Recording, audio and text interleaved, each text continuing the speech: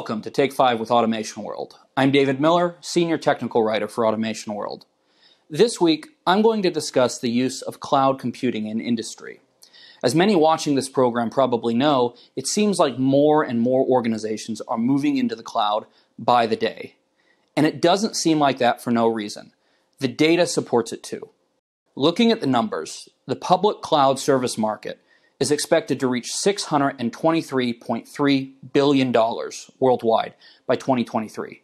According to Grand View Research, it's expected to grow at a compounded annual growth rate of 14.9% from 2020 to 2027. In 2021 alone, cloud infrastructure is expected to grow by 35%. So when we talk about the cloud, what we mean is simple.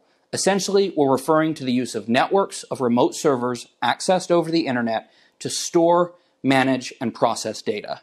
This is in contrast to having an on premise server, which would be more commonly accessed via a local area network and would require a company to own the actual physical infrastructure of that server.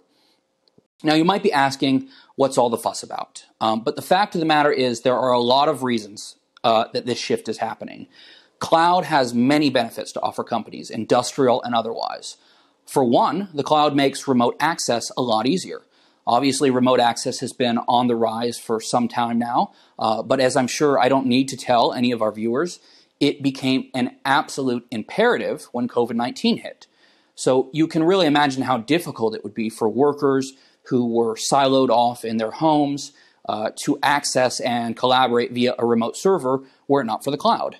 Um, so not only would it require finagling from IT, things like that, uh, but to open up those local area network servers to the broader internet, uh, potentially without the proper expertise, could also entail huge security risks. On top of that, of course, uh, the cloud provides a single source of truth, um, and that's vital to all kinds of remote collaboration. Uh, for instance, these days we see many organizations who are looking to synchronize data from disparate systems in order to plan jointly across numerous facilities, uh, or perhaps even across numerous organizations. So, this type of end to end visibility would be almost entirely impossible without a central cloud server that could take in and consolidate all that data in real time. So, the other really significant benefit we see from cloud servers is simply that they provide greater storage capacity. These days, huge amounts of data are coming out of plants in the hope that mining and analyzing that data will help manufacturers to optimize production in new ways.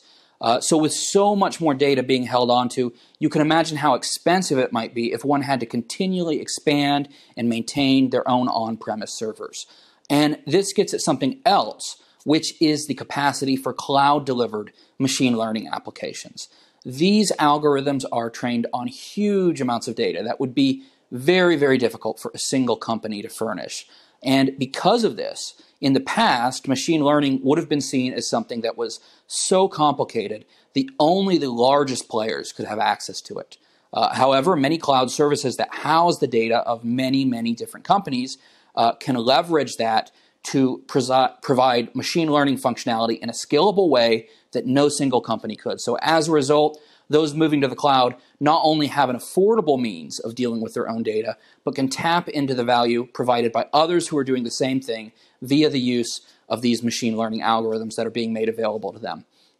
So, in essence, what's happening is this is allowing small and medium sized enterprises to access capabilities that in the past simply would have been out of reach. So, that's everything I have for you today. But if you enjoyed this segment, keep your eyes peeled for more to come in the weeks ahead.